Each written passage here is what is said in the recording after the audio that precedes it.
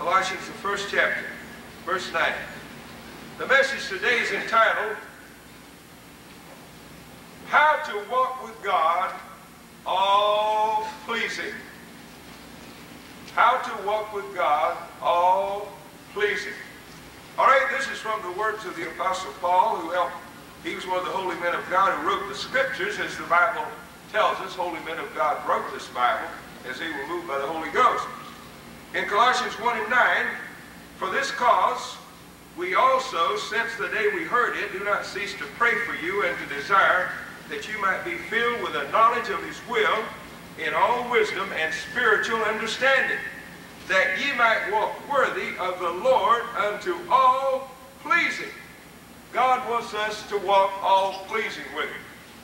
And you've got to be filled with a knowledge of his will in all wisdom and spiritual understanding to do this. Then he continues, being fruitful in every good work and increasing in the knowledge of God. And that's something that you might work worthy of the Lord unto all pleasing, being fruitful in every good work and increasing in the knowledge of God. Now that's a great command of the Holy Ghost for your life and mine. I want to read a very serious uh, scripture in conjunction with this as part of the text to begin with, found in the book of Hebrews.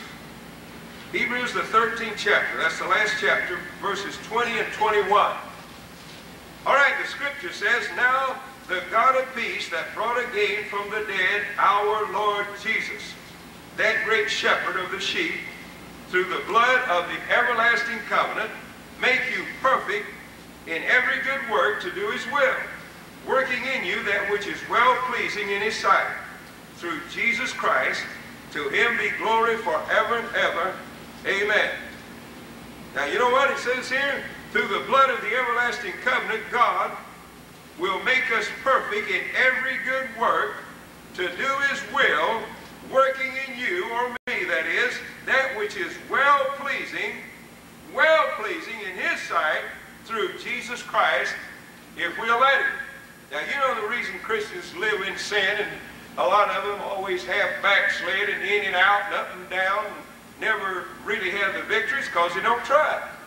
If you try, you can live a sanctified, holy lifestyle, and you, through the blood of Jesus, can will be perfect in every good work to do God's will, and him working in you that which is well-pleasing in his sight. And that's Jesus Christ who will work this new life in us that Christians and preachers today don't want, don't understand, and the preachers don't preach it. No wonder people don't live it. How you going to live something when you don't hear it? The Bible said faith cometh by hearing, and hearing by the word of God. People have to hear it preached that you can live a sanctified life, or they're not going to live it. A lot of them won't live it then. But they're not going to live it unless you do. And preachers just will not preach it. You know why? Because preachers mostly are ecclesiastical hobos themselves. They like to sin. Like one pastor, somebody told me about some time ago, said he sees a woman in a pair of tight pants and said, oh, I just feel like going up and patting them on the sit-down place. Now, ain't that cute? No wonder the church is in such a mess, taking a bunch of preachers like that. Like God can't give you victory or want to go pat a woman on her sit-down place because she's got tight pants and revealing. Why didn't he say a few more things he'd like to do?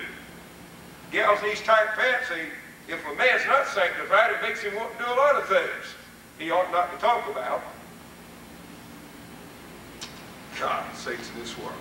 The Bible says you can walk all pleasing and walk holy and live without sinning in your heart or having eyes that are filled with lust and adultery.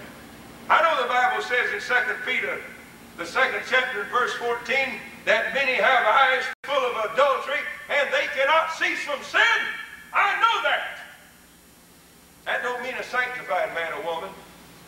That means some old hoopa lady just hangs around a church or claims to be a preacher, gets out here, their own eyes full of adultery. They could quit sinning if they wanted to because they don't believe you can live a sanctified, holy lifestyle through the blood of the everlasting covenant, and Jesus can work in us all things that are well-pleasing in His sight. He ain't pleased with no such mess as that. Jesus sakes in this world. Christ and God must be honored in every word and in every act and every thought that we think. Did you know that? To live a life all pleasing to God and to Christ our blessed Lord. You can live such a life if you want to. The reason people don't live it, don't want to. They got eyes full of, of adultery. Look at some old gal or another man get all stirred up just by looking. Jesus said you don't have to commit adultery with the very acts, and you can look and lust, and you're still guilty of the sin of adultery. The Bible's got a lot to say about those things and where you're going if that's the way you live. It tells you what's going to, what your end will be. We need to believe the Bible. We need to believe the Bible. In the same author's writing, in Colossians, the third chapter, listen to this. Same author, the old brother apostle Paul, the great writer of most of the New Testament. All right, listen to this. Verse 9. Oh, and I want to start back a little further that. Verse 8. But now you also put off these. If you're a Christian, anger, wrath, malice, blasphemy, filthy communication out of your mouth. You don't talk nasty. You don't use them little nice four-letter words that these vulgar Americans and even a lot of Christians use. You quit using them. If you're really saved. Most Christians aren't really saved. That's what's wrong with them. Lie not one to another, seeing you put off the old man with his deeds. Quit your stinking lying. And then put on the new man. That's Christ, which is renewed in the knowledge after the image of him that created him. See, he's created that new man in us is created in the image of Christ Jesus. Where there's neither Greek nor Jew. See, there's no respect of person with God if you're a Greek or a Jew, if you're circumcised or uncircumcised, if you're a barbarian or Scythian, you're bond or free, you're a slave or you're free, you're in jail or you're free. Christ is all and in all. And he says, put on therefore as the elect of God, holy and beloved. You put these on. Bowels of mercies, kindness, humbleness of mind, meekness, long-suffering, forbearing one another, forgiving one another.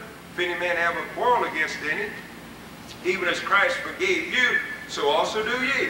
And above all these things, put on charity, which is a bond of perfectness. The bond of perfectness. That's doing everything well-pleasing in God's sight. Somebody says you can't be perfect.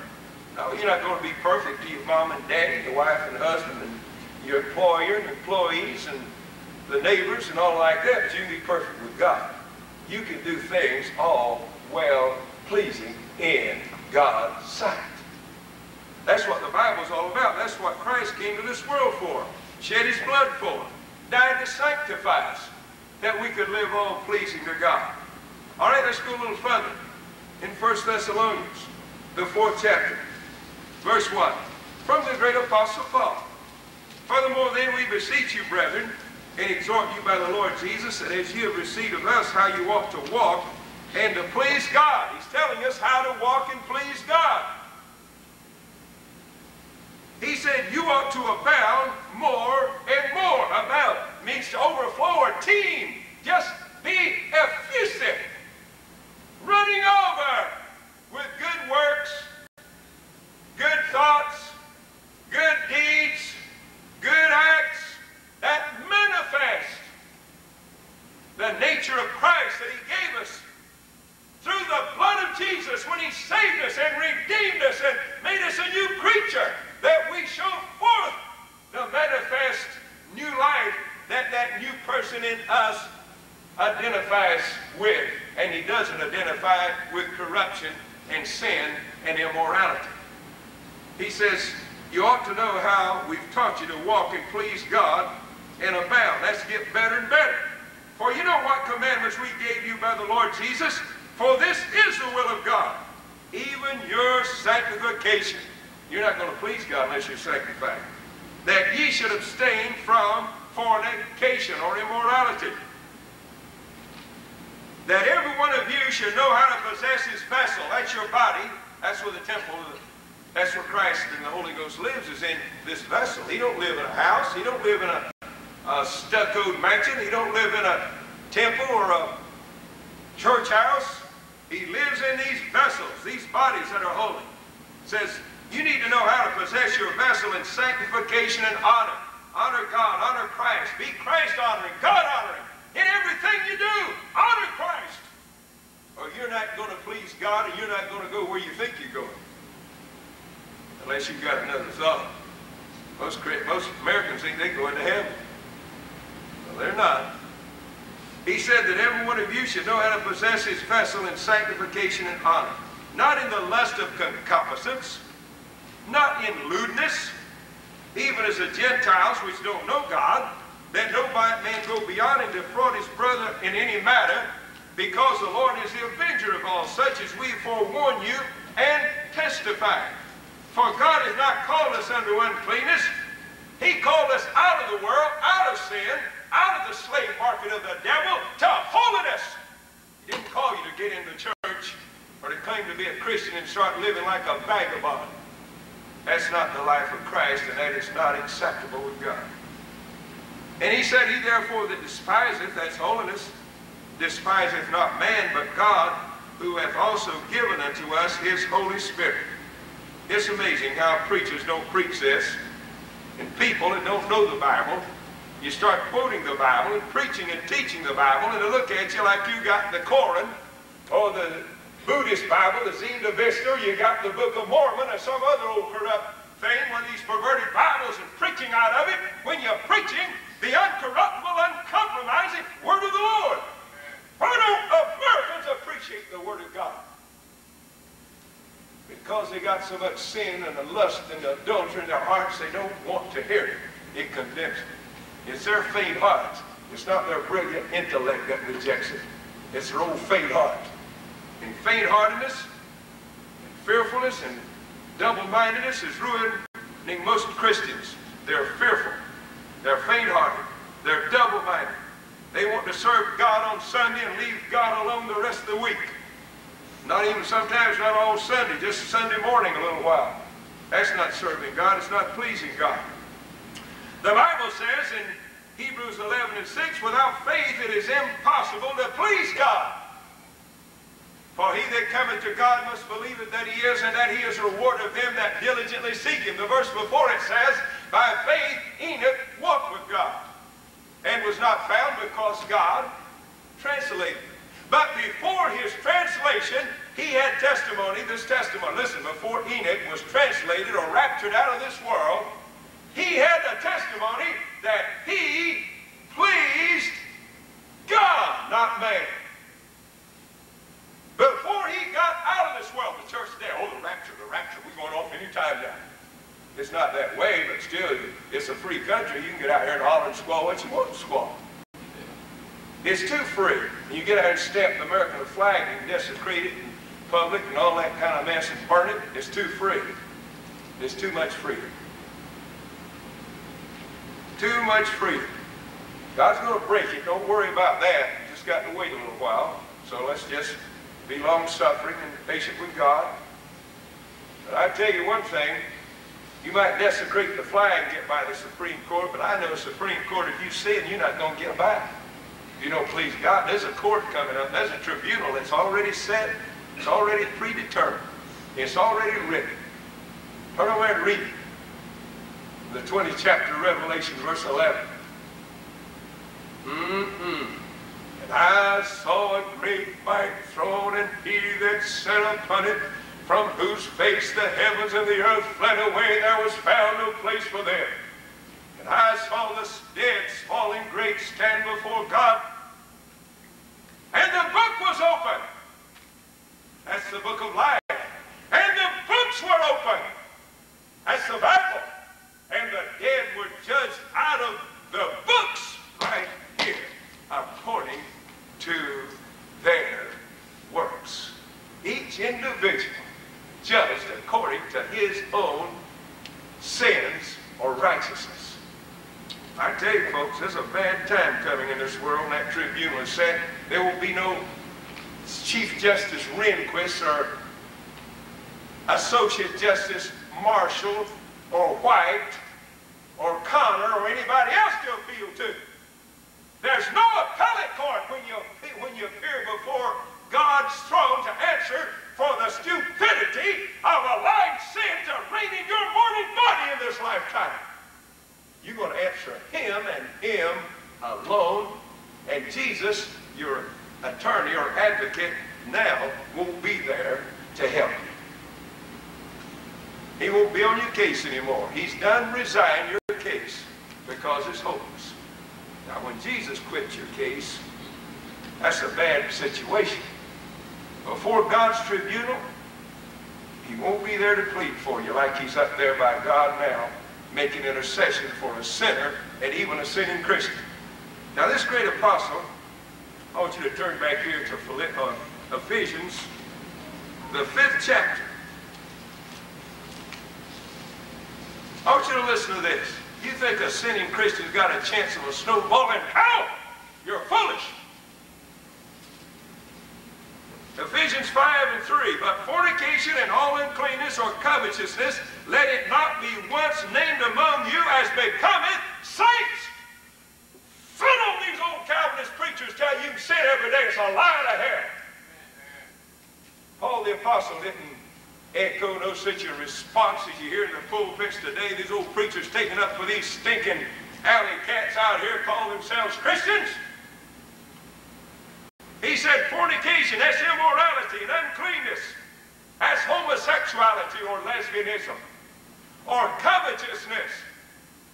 That's stinginess, greediness. In the seven deadly sins of the Catholic Church, they call it avarice said, Don't let it be once named among you as becometh saints, neither filthiness, nor foolish talking, nor jesting, clowning, which are not convenient, but rather giving of thanks. For this you know, that no whoremonger, listen to this, you know this, that no whoremonger, nor unclean person, nor a covetous man who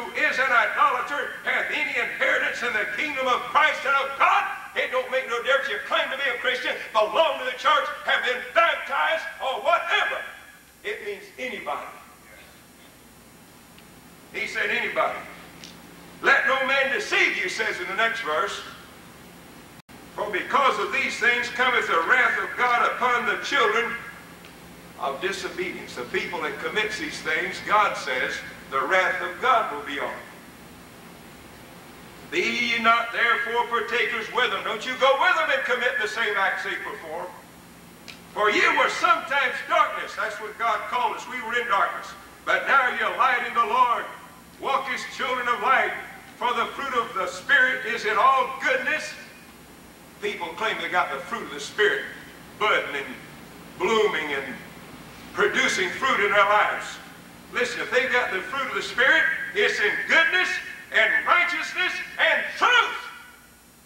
The fruit of the Spirit is not corrupt. The fruit of the Spirit don't have wormholes and blights and blemishes and immaturity even in it. Praise God. Proving what is acceptable to the Lord and have no fellowship with the unfruitful works of darkness, but rather reprove them, for it's a shame even to speak of those things which are done of them in secret. They sneak around and do things God said it's a shame to even talk about it on the lips of a saint. Were you called to be a saint or just called to be an old vagabond church member Christian?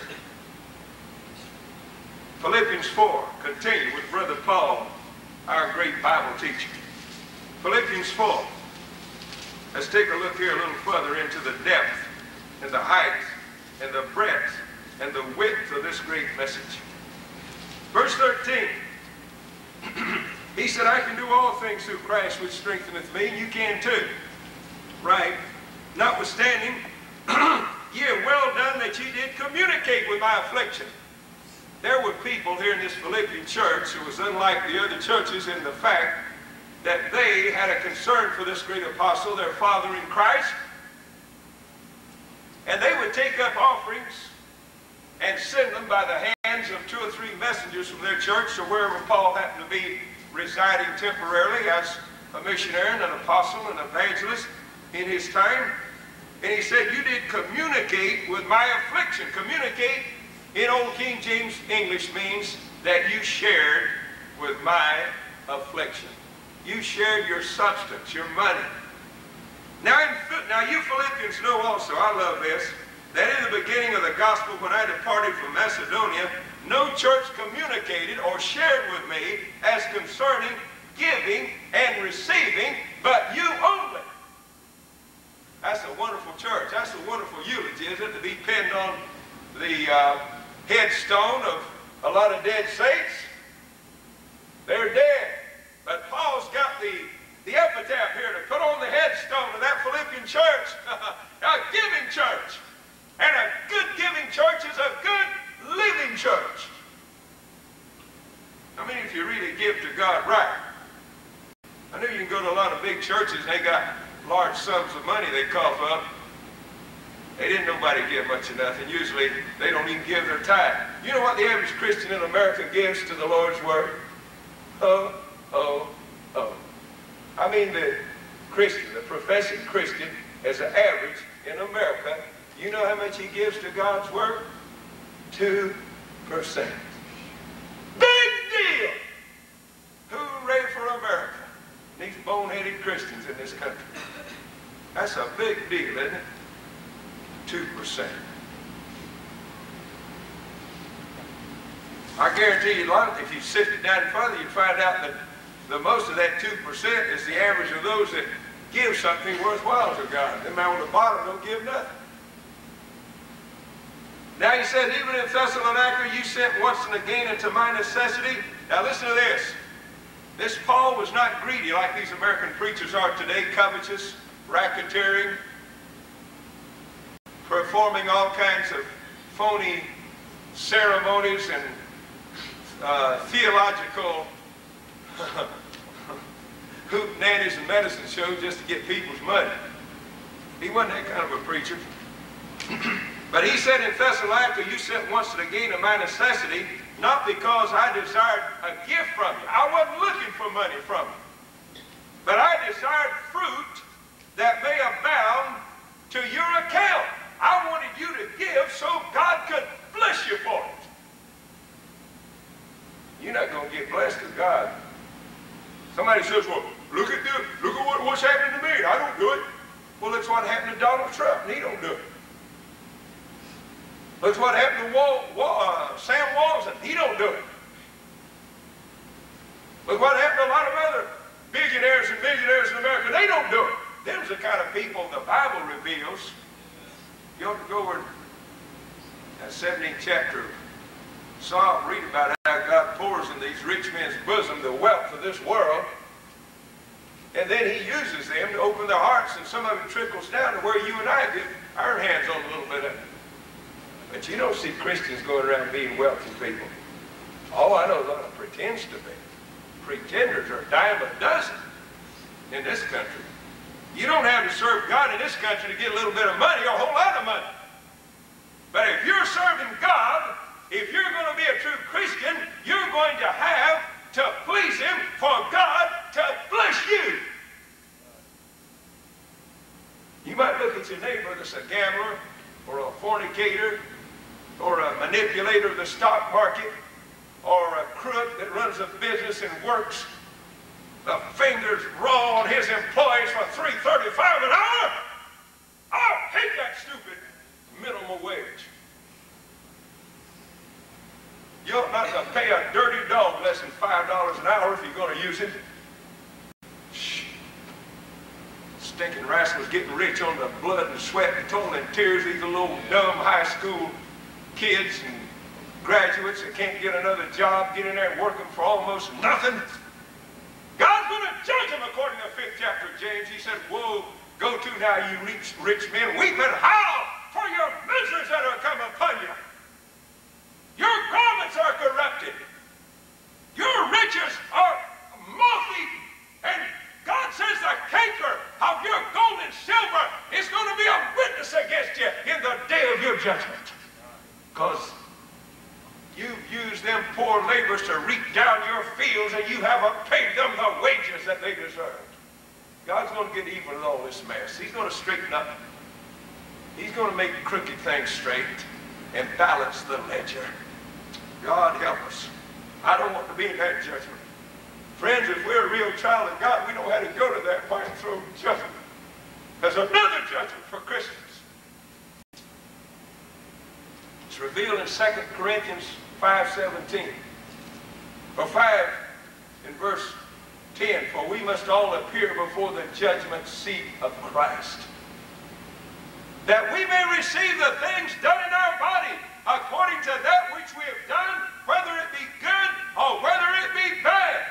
Knowing therefore the terror of the Lord, we persuade men. It's not going to be an easy thing just to go to that judgment seat of Christ as a Christian.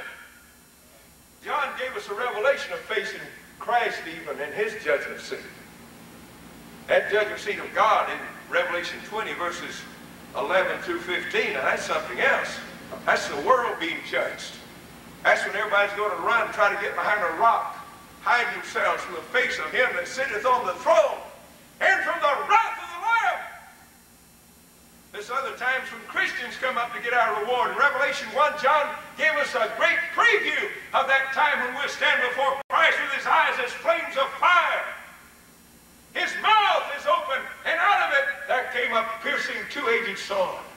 His countenance is bright as the sun in his strength. In his hand were seven stars. His feet was if they were brass burning in a fiery furnace. And he said, when I saw him, I fell at his feet as dead. And he come and laid his hand upon me and said, Fear not. I am he that was dead. And behold, I'm alive again forevermore. And I have the keys of death and of hell. Praise God even at the best, even at the very best effort we make in pleasing God, when we see Christ on that judgment seat throne and waiting, we in line to be judged and get a reward for the things we've done, good or bad as a Christian. We're going to fall before him on our faces like we've fainted or been shot between the eyes. Paul said, knowing the terror of the Lord, we persuade men. It's a fearful thing to fall into the hands of an angry God. Oh, dear God, help us to prepare for that great day that's yet coming our way.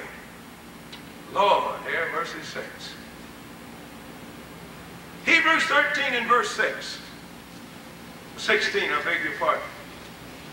But to do good and to communicate, forget not. Speaking of communicating or sharing, laying up a treasure in heaven, that's pleasing to God. Now listen to this. But to do good and to communicate, forget not. For with such sacrifices, God is well. Hey, don't you want God to be pleased with your life? You remember Matthew 3 when Jesus was baptized by John the Baptist? John saw him come. He said, Behold the Lamb of God that taketh away the sin of the world. And Jesus came up and asked to be baptized. And John forbade him, saying, I need to be baptized of thee. And Jesus said, No, you baptize me. For thus it suffereth us to become, to fulfill all righteousness. And as he came up out of the water, a voice from heaven saying, a dove lit on his hand, and a voice from heaven said, This is my beloved Son, in whom I am well pleased. Did you know that's what we've got to work for and earn in this life by our faithfulness and obedience to Jesus Christ and to God? Jesus revealed when we come to that throne for judgment in Matthew 25, he said he begins to take the records of every one of his servants. To one servant, he gave five talents, he gained five more. To one, he gave two, he gained two more. To one, he gave one, and he went and hid it. But those that were faithful heard these words of commendation. Well done, thou good and faithful servant. You've been faithful over a few things. Be thou ruler over many things. Enter into the joys of thy Lord. My God, what a wonderful, what a wonderful eulogy, commendation to receive from our blessed Lord because we've been faithful to him here in a few things in this brief lifespan of our best of three score and ten. And even the scripture says in Psalm 90 and verse 10, if reason by strength we have fourscore years, yet is our strength labor and sorrow, for they're soon cut off and we fly away. In verse 12 he said, Teach us, Lord, to number our days that we may apply our hearts unto wisdom. And I'll tell you it's a wise thing to please God in everything we do. These things that are no-nos. Oh, your preachers say, oh, we preach positive. We don't preach negative. I don't either. I'm just as positive about this as I can be. I'm positive about the yays and I'm positive about the nays. God's got a lot of yeses in here and he's got a lot of no-nos. If you're going to please God and inherit eternal life, you've got to observe the yays and you've got to observe the nays. The Bible tells us there's some no-nos that we cannot submit to. In 1 Corinthians, the 10th chapter, some more of our great teacher, the beloved apostle. Turn to 1 Corinthians 10 if your Bibles, please. Verse 1, Moreover, brethren, I would not that ye should be ignorant. Isn't that a classic statement? Moreover, brethren, I would not you should be ignorant. God don't want Christians ignorant. How are you going to be unignorant or lacking in ignorance and be informed? You're going to have to listen to a teacher that teaches you the Bible and not just philo philosophical persuasions. I want to teach you now not to be ignorant, he says. How our fathers were under the cloud, all passed through the sea. They were all baptized under Moses in the cloud and the sea. They did all eat the same spiritual meat. That was the manna God gave them. They did all drink the same spiritual drink. Now listen to this. For they drank of that spiritual rock that followed them, and that rock was Christ. There was a flint rock about that big around, 42 stops that that church of Moses out of Egypt to Canaan's land had stops for 40 years. 42 stopovers. Rest areas. They stopped there. They didn't take that big old flint rock. I don't think they had anybody could handle it. I don't believe Samson could have picked it up unless the Spirit of God had come on him mightily. That old big flint rock. In every stop they made, that flint rock was already there. They didn't take that flint rock with them as an angel, somebody took that flint rock and put it where the cloud was going to stop the next time. Moses didn't tell them where to stop. There was a pillar of cloud that went before them, and when it stopped, they stopped. It was the Holy Ghost leading. And there was a big old flint rock there. And Moses, all he had to do is get up there speak to that rock, and the water just gush out of that old hard flint rock. They watched that miracle for 40 years. Them hard-headed rascals they were filled with such unbelief and limited God until he had to destroy every one of them from 20 years old upward except Caleb and Joshua and their families because of their unbelief and limiting God after they'd seen his great miracles. What a hard-headed bunch. That was the first church God ever had. You don't believe a church? Read Acts 7.38. The Bible calls it the church in the wilderness. All right, here's a record of that church in the wilderness. They drank of that spiritual rock that followed them, and that rock was Christ. But with many of them, God was not well pleased. God's still not well pleased with many today in the church of Jesus Christ. For they were overthrown in the wilderness. Now listen to this, folks. Now these things were our examples in that church of Moses. These things were our examples. To the intent we should not lust after evil things as they lusted Neither be ye idolaters, as were some of them, as it is written, the people sat down to eat and drink like the church does today and rose up to pray. Uh-oh, wait, a minute. To play. The church ought to eat and drink, rise up to pray, but they don't. They rise up to pray. Play. Moses had the same trouble a real man of God has today. You know, the Lord said in Matthew 23, 1 and 2 that a Pharisee sat in Moses' seat. Who do you think sat in Moses' seat today? Where a prophet of God ought to be? We still got a Pharisee. He says in verse 8, Don't you commit fornication as some of them church members committed. And they fell in one day, 23,000. God killed them young people that committed fornication with the young people. A million God slew them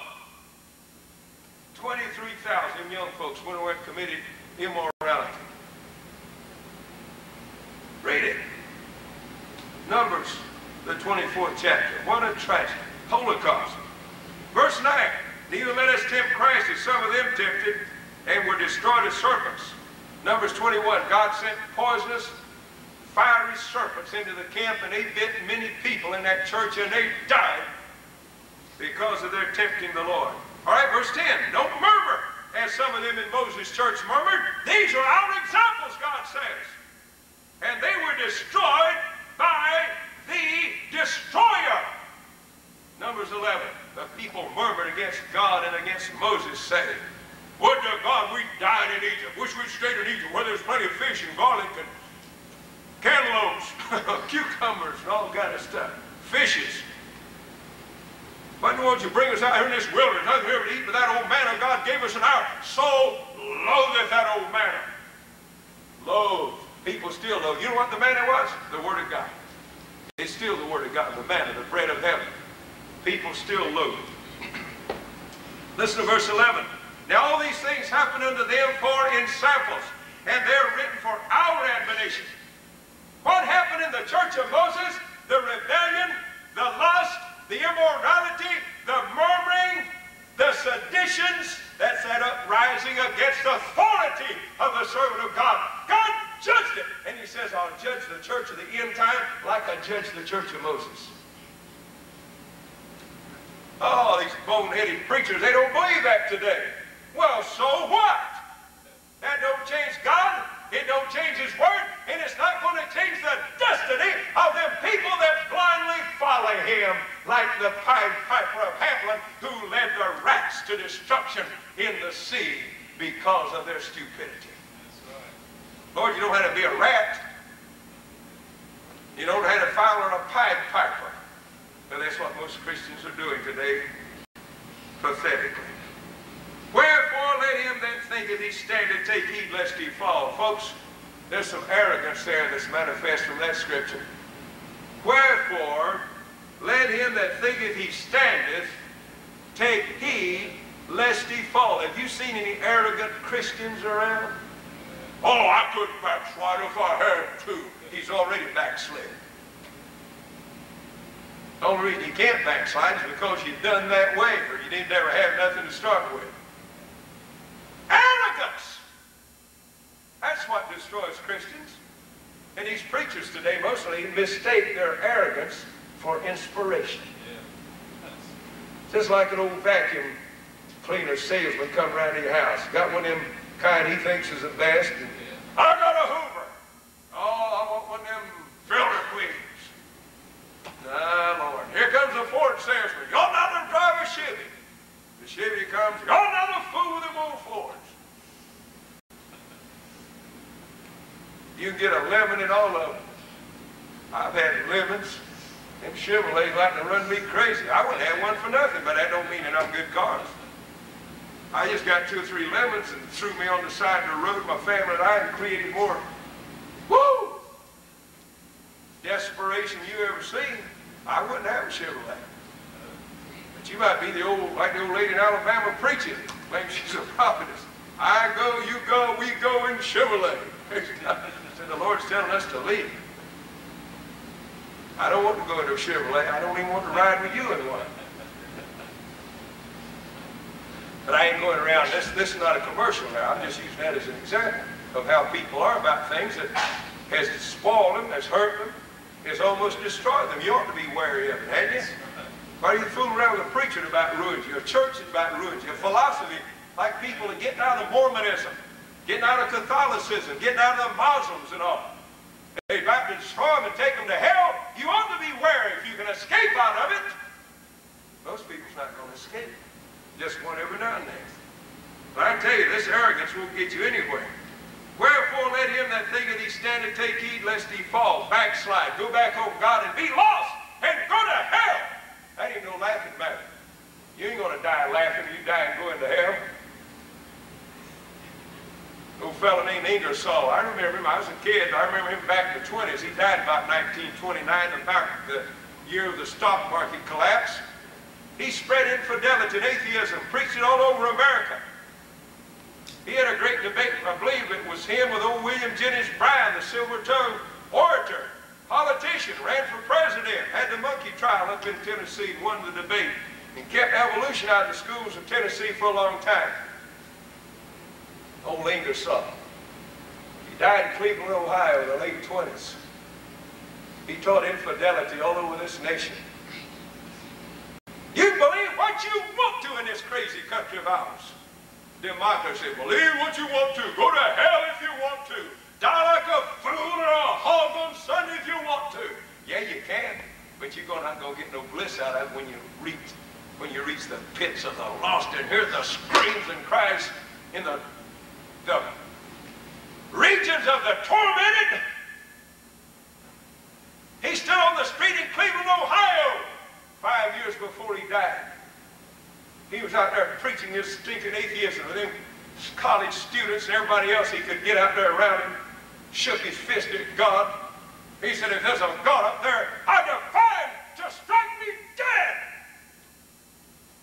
I'm going to wait five minutes, and if he hasn't struck me dead, you folks know there ain't no God up there. While he was standing there waiting, little old woman over there a Christian happened to come by and heard this rant and a raving of this fool. Uh, Psalm 14 1 said, The fool saith in his heart, There is no God. I didn't call him a fool. God called him a fool. She went up to him and said, Sir, may I speak to you? He said, Yes. Said, Do you have children? Yes, I have two. He said, Would you load two guns, play Russian roulette with them, put a bullet in each one and tell your kids to pull that trigger beside the temple there for it? He said, no. Said, I love them too much. He said, she said, sir, that's the reason you're not dead right now. Because God loves you enough, he don't want you to go to hell, or you would be dead. Five years later, he was dying in a Cleveland hospital with a dread disease that didn't even diagnose him. And there in his last few moments, with a nurse, a two or three nurses, and some relatives in that room, he began to scream. And he said, My God, if there is a God, let him have mercy on me. I feel the flames of hell enveloping me. Late date, my bud, my boy, my girl. Late date. Too late It's one old boy in college, or his daddy wrote him back when he wrote for money. It said, too bad, too sad, you're dead. That's what God writes you back. God says in Proverbs 1,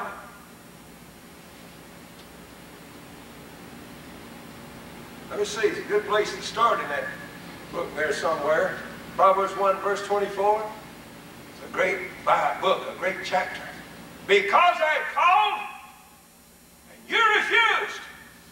I stretched out my hand, God said, and no man regarded. Ye sought it not, all my counsel. You would none of my reproof. Here it is, right in this black-bound book. It stands between you and hell.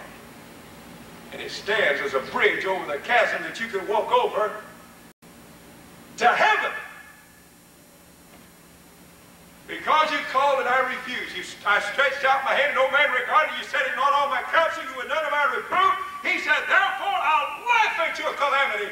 I'll mock you when your fear cometh. When your fear cometh as desolation, and your anguish cometh as a whirlwind. When it, fear and anguish seize upon you, you'll call on me just like Ingersoll did. But I won't answer you. You'll seek me, but you won't find me. Listen to verse 30. For that they hated knowledge and did not choose the fear of the Lord. Therefore they shall eat the ways of their own destruction. The prosperity of fools shall slay them. They'll die in their own folly and go astray in their own foolishness. God says, because you called, I'll laugh at your calamity. In the day when you rejected me and walked arrogantly and said nothing can happen to me, I can fall. Oh, something good will come after a while. Let me tell you, there's a day, there's a time of salvation when God will listen to you, and there's a day God will not hear you when you call out of your distress. When you're sinking like Ingersoll, going down into the pits of the love you cry out and God says, sorry, bud. I stretched my hand out to you and you slapped it away. I stretched out both hands to you certain times and you slapped them away. Now God says, ha, ha, ha. I'll laugh at your calamities because when I called, you wouldn't answer. When I stretched out my hand to save you, you wouldn't regard it.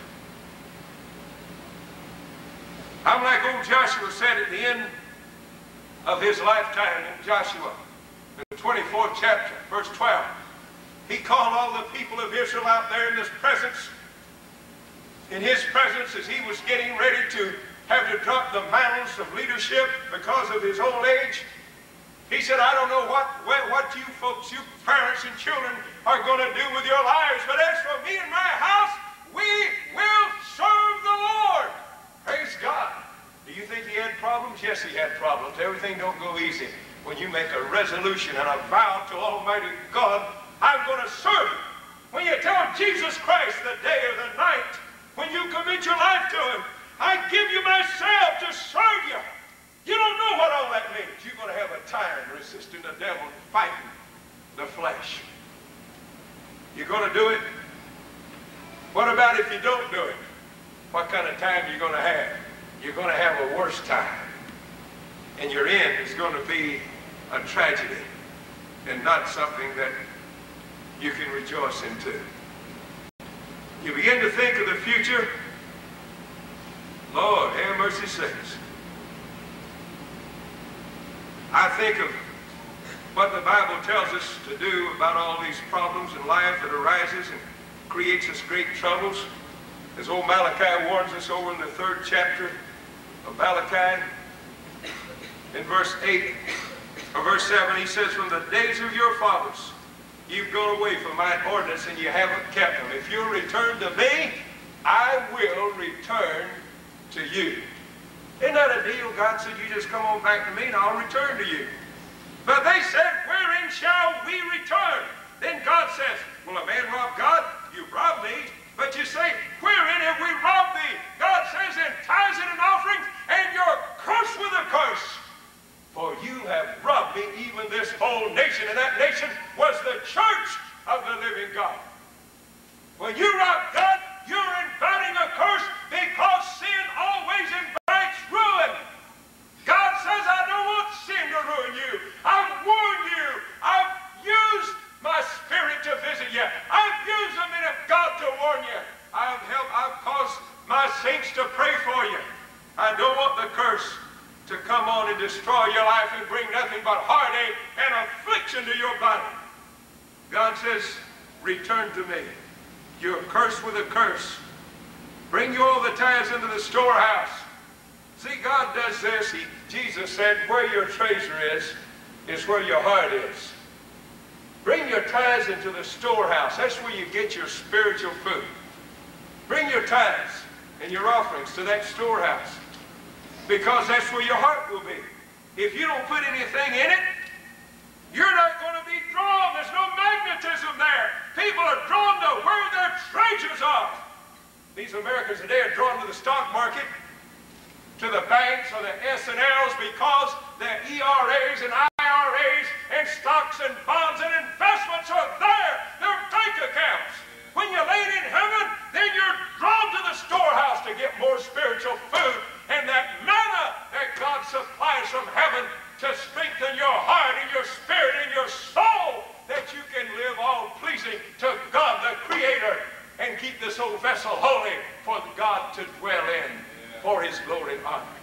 That every act and every word and every deed will be God honoring and Christ honoring that you please him in everything. The Lord said, if you don't believe it, Malachi 3 and 10, prove me Prove me herewith, saith the Lord of hosts, and bring them tithes and offerings, and I'll open you the windows of heaven and pour you out a blessing, and I'll rebuke the devourer for your sake. He'll not destroy the fruits of your ground. You got an old affliction? God says, I'll take care of it. If you got financial problems? I'll begin to resolve them. If you got family troubles, I'll be with you in the middle of all of it. If you got spiritual problems, this is the answer. This is the underlying cause of your spiritual deficiency. James says about money, the love of money, where's this, James 5 and 10? The 6 and 10, the love of money is the root of all evil. The love of money, which while some have coveted after, they have heard from the faith and pierced themselves through with many sorrows. When you hang on to the money that's God's, that and offering, you are opening the windows of heaven for a curse and not a blessing. Physical affliction, heartache, sorrow, trouble. God have mercy. Finally, hailed into God's judgments as a fool. You can't afford to have this. I can't help but don't please you. Galatians 1 and 10, this great apostle I've been quoting from today said, If I should please men, I should not be the servant of Jesus Christ. He said, I strive not to please men, but I strive to please God. For if I please God, I'm not the servant of Christ. You can't please men. The man of God must stand between you and God, between you and hell, and hold up a barricade and say, turn from that sin that's going to bring a curse and heartache and affliction upon you. And if he wants to get up here and tickle your ears, he's the worst enemy you've got in this world. If that word doesn't censor you and bring conviction and make you feel uncomfortable, that man is not obeying the voice of God and not anointed by the Holy Ghost that was sent to be the mediator between God and man in the name of Jesus Christ in this world. Yeah. Lord God, grant us grace in your sight. God said, if you'll bring your tithes and offerings, I'll rebuke the devourer for your sake. Malachi 3.11. And he'll not destroy the fruits of your ground. Your vine will not cast her fruit before the time of the field. The nations will call you blessed. You'll be a delightsome land, saith the Lord you'll obey my voice and trust me, you'll be all pleasing in my sight, and I'll give you the grace and the victory through the blood of the everlasting covenant to make you complete and whole in every good work. In conclusion, let me repeat this, then I'll close. Hebrews 13, 20, and 21. Now the God of peace that brought again from the dead our Lord Jesus, that great shepherd of the sheep, through the blood of the everlasting covenant, make you perfect in every good work to do his will, working in you that which is well-pleasing. Well-pleasing. In whose sight? In his sight. Through Jesus Christ, to whom be glory forever and ever, amen. Verse 22, and I beseech you, brethren, suffer the word of exhortation. You know what Paul said? Hey, I hope you'll accept this. He said, I hope you will allow this to penetrate and be a part of what you've learned of how to please God. For I have written a letter unto you in few words. I've written you this letter, and I beseech you, brethren, that you'll suffer me to give you this word of exhortation. The Apostle Paul, in my opinion, is the greatest preacher in the Word of God. Jesus could have been the greatest. He didn't choose to be. He said, I'll send you the Holy Ghost, and he'll teach you things that I can't even tell you about now. And this great Paul came along with mysteries unveiled through the Spirit and written by the Spirit to you and I, that we can have the unveiling of the mysteries of God's will, that we don't have to stumble through life. We don't have to blunder around because we've got the perfected Word of God that tells us how to please God and then to abound more and more as we endeavor to serve Him with our whole heart. Shall we pray? Our Father, I thank you, Father, for the Word of God. It's a lamp to our feet. It's a light to our path. Wherewithal shall a young man cleanse his way by taking heed thereto to, according to the Word. Oh, Lord, as old Jeremiah said, is not my word like as a fire, saith the Lord, and like a hammer that breaketh a rock in pieces? Yes, it is. And we thank you for the incorruptible, uncompromising Word of God. It has no favorites. And what you expect of me, you expect of everybody else. What you expected of the Apostle Paul, you expect of us and me and all the saints of this end time generation. And let us take heed that we think we stand lest we fall. Keep us from that old spirit of arrogance, Lord, that we'll strive to be humble and walk humbly with our God in Jesus' name and in the fear of God. We pray that you'll grant us that great grace. Amen.